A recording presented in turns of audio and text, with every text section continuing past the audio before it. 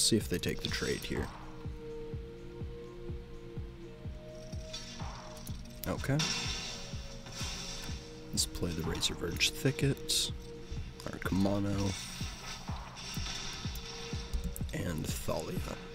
I think we play Jetmir. He's just huge. We Get our 6-5 down. Let's play our Forge. We can play Adeline. And we can channel our Sokenzan. And let's attack with everybody.